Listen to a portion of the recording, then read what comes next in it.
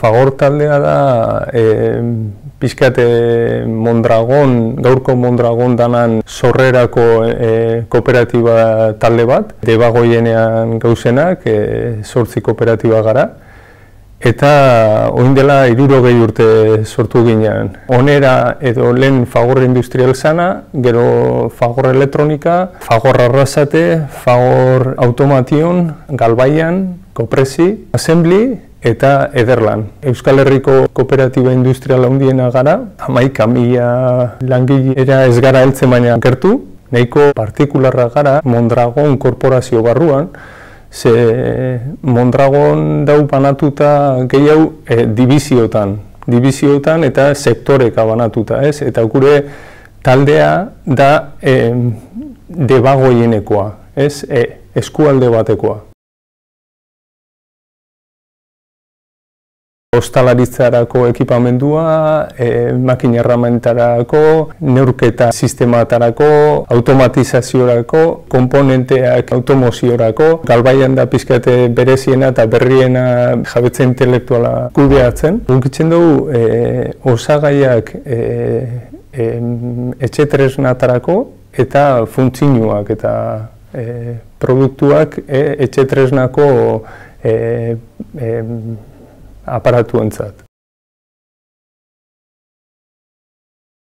Fagortaldea dau e, amazortzi herrialde ezberdinetan, herrialde honetan iruro eta beratzi uste dut egoitza ezberdin dauzkagula, hau da, mundu osoan gauz, gure bezeruei aldan eta zerbitzu onena eman nahian, ez? Bai gauz hemen errotuta, e, deba gaiaran dauko e, egoitza nagusiak, baina munduan gauz. Koprezin kasuan adibidez, mila bosteun, mila seireun langile gara, eren bat e, hemen dau, Euskal Herrian, eta bi eren kanpuan.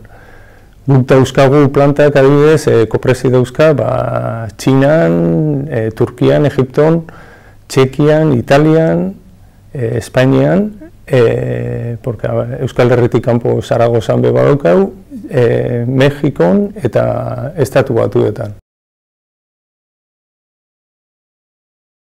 Fagor, hogei hogeita mar iraunkortasun estrategian bost e, hildo nagusi dauzkau, diala gure negozioak eraldatzea, gobernantza eredu demokratiko bat garatzea, enpresa kultura aurreratu bat garatzea, gure produktu eta ekoizpen prozesuak inguru giroan sortzen duten inpaktua murriztea, eta gizartearen autoreka sustatzea. Iraunkortasun plan honek e, aprobat bidea e, markatzen dozku, ez? Eta laguntzen dozku, ba, lurralde eta komunitate ontarako e, urrengo pausuak e, bideratzen.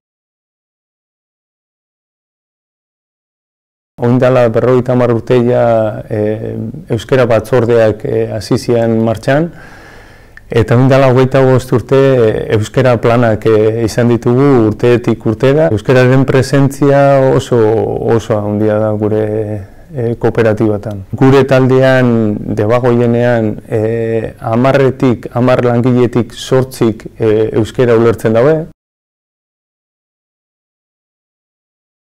Badiaz saria e, ba, rekonozimentu oso handia da, e, azkenean e, talda maian jasotakoa, eta urte pila baten ondoren ez ez, e, bai e, euskara batzordetan, bai e, euskara planez berdinak iten, eta, eta bai. Eta gero LH dualan e, e, aitortza hau e, baita garrantzitsua da eta baita e, urtetako lanan ondorio da. Miguel Angel Altunakin eta bai Mondragon Unibertsitateakin elkarlanean urte pila bat goia zela baitu alakin eta bai beste ere batzutan eta bai euskerari e, bere esparru ematen ez? Orduan e, bai rekonozimentuak dira exigentzia puntu bat bai eta bai gure urrengo erronkeri bultzada bat emateko e, ba, laguntza batzuk be bai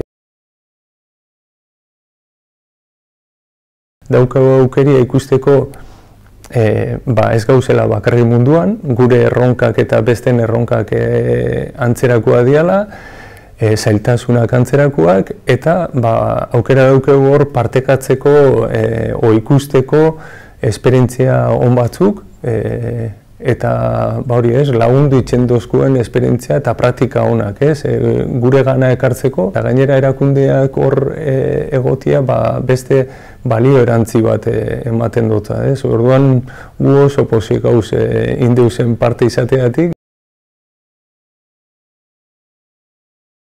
Euskarari bultzada bat e, emateko, e, presentzia gehiago, erabilera gehiago emateko, e, izan behar dela e, argita garbi onura batzuk ikusten dut zaolako. Gertutasuna, kohesioa, pertenentzia, arrotasuna, e, maite dugun hizkuntza eta kultura babestea.